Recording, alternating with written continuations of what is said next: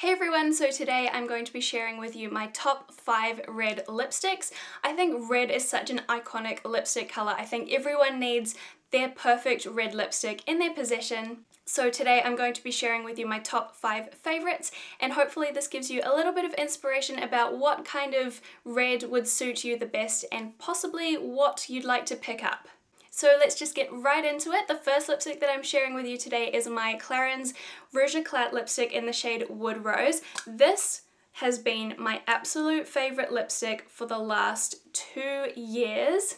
As you can see, it is quite a muted red. I would say on deeper skin tones, this is more of a nude, but on my skin tone and fairer complexions, this is definitely leaning more towards the red side, but I can still wear this on a day-to-day -day basis. I can wear this to work, and it's not bright or in your face at all. It's definitely a very, very wearable color. So as you can see, this is a very muted red color and it's also got a very creamy consistency, which means it is super comfortable to wear. It does last quite well, but you do have to reapply it during the day just because it is a really comfortable creamy consistency. But as I said before, I just find this to be the perfect everyday slightly red shade for me. And considering that this has been my all-time favorite lipstick for the last two years, I definitely think it's worth the high-end price tag. The next shade that I have here is a little bit brighter. This is from Clinique. It's one of the matte pop lipsticks and this one's in the shade Ruby Pop.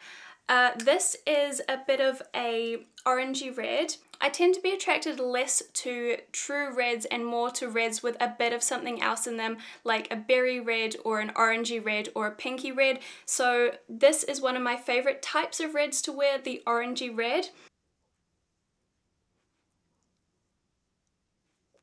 So as you can see, this shade is a lot brighter than the last one I showed you. This, for me, is the perfect one for a pop of colour in like spring and summer when I want to wear a red, but not like a true red, because like I said, those aren't my favourites. The other draw to this one is that it is a matte formula, but it's super comfortable. This one has never felt uncomfortable on me at all. So as long as I don't eat in like the first five to 10 minutes of applying it, it dries down completely and then it won't transfer at all during the day.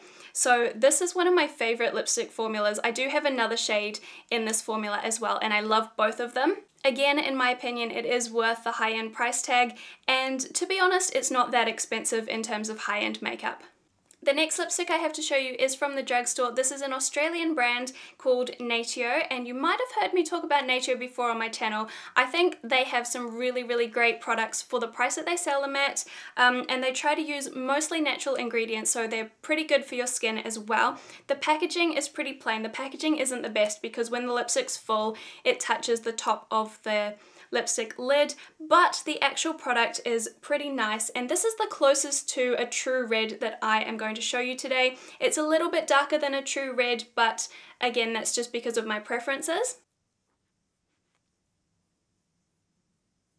I actually forgot to tell you the name of this lipstick. It's called Rush and this is what it looks like. Um, probably the worst application in the history of forever but you can still see the color. So the formula of these lipsticks is creamy and they don't dry down at all, so they do need to be re reapplied throughout the day. However, I do think they have really good pigmentation and they are really comfortable to wear through the day as well. I do have a swatch video up on my channel of my Natio lipsticks. If you would like to check that out, I'll leave it in the description box. I used to have uh, I think seven shades, maybe a few more. Um, I did get rid of some of them though because they weren't my favorite shades, so I just kept the ones that I really loved. And this was one of the ones that I have kept. The next lipstick is one of my newer favorites. Jonathan got this for me for Christmas. It is a YSL lipstick, my one and only YSL lipstick. This is in the shade 212 from the Rouge Pur Couture, the mattes line. And mattes are my favorite lipstick formula, as long as they feel comfortable, which this one does because you don't have to reapply them through the day. And the shade of this one is a berry red, a dark berry red, which again is one of my favorite types of reds.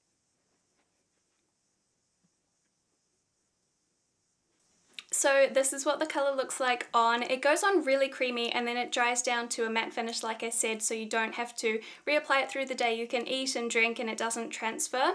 So this is the type of red that I would typically go for in autumn and winter, which is kind of what we're going into here in New Zealand right now. Whereas, like I said, the Clinique one I would reach for more in spring and summer because it's a brighter type of red. So to me, the only drawback to this lipstick is the price because YSL is a very expensive brand. Um, I'm really lucky to have this because it was a gift, but I'm not sure if I would spend my own money on something quite this expensive. So on the topic of YSL lipsticks being really expensive, the last lipstick that I have to show you is kind of a dupe for that last YSL one.